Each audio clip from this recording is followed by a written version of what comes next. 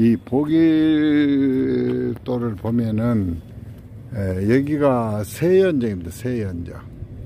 이게 관광정보센터 있고 윤선도 올리면서 이렇게 들어가고 그다음에 여기가 곡수당 에, 여기가 이제 부용리인데 에, 여기가 도, 낙서제 그 다음에 이제 지금 동천석실이 여기가 있습니다. 여기가 주요 그리고 여기 밑에 어부사시사 명산길이 있고 또 이렇게 보면 황칠나무가 아, 많이 있고 또 이쪽으로 이제 오면은 바로 이제 여기가 지금 송시열 어, 선생이 쓴 바위가 있습니다.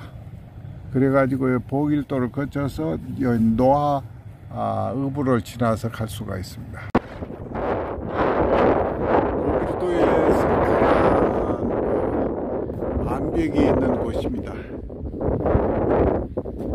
이곳에가 송실 선생이 제주도 83살에 그 제주도로 유배를 가다 여기서 잠시 머물렀는데 아 대단한 절벽이네 여기가. 아 이렇게 이렇게 절벽에 가 있는데 저기까지는 가지 갈 수가 없는 아, 곳입니다. 이 옆에는 지금 전복 양식을 하고 있고 야 저기는 노하읍입니다 노하읍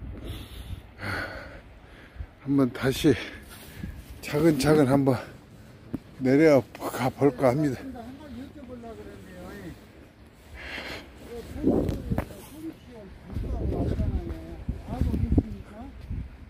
아하.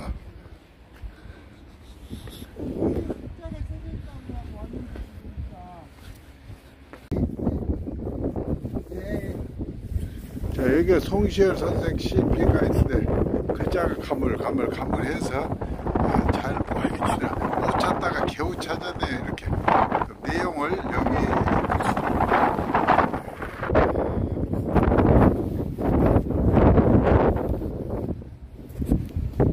송시열 선생 시문이 이렇게 있습니다 83세 옹 창파 만리 중이라. 이런 호대제의 삼출 적운 궁이라. 북극 공천미래 남명 단신궁이라. 초구 구은제의 감격 읍 고해라. 여든 세 살 먹은 늙은이 몸이 멀고 먼 차디찬 바다 한가운데 있구나 한마디 말이 무슨 큰 죄가 되어 세 번이나 쫓겨나니 정말 궁금하다 궁하다. 북녘의 임금님은 을 우러러 남녘 바다 바람 찾기만 기다리네.